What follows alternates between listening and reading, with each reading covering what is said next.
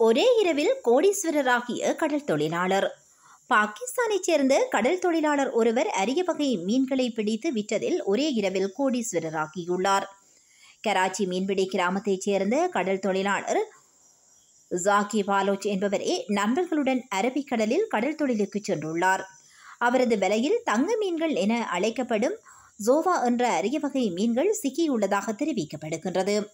இருபது முதல் நாற்பது கிலோ எடை கொண்ட சோவா மீன் ஒன்று தசம் ஐந்து மீட்டர் நீளம் வரை வளரக்கூடியது எனவும் கிழக்கு நாடுகளில் அதிகம் விரும்பப்படும் இந்த வகை மீனில் ஏராளமான மருத்துவ குணங்கள் உள்ளதாகவும் தெரிவிக்கப்படுகின்றது.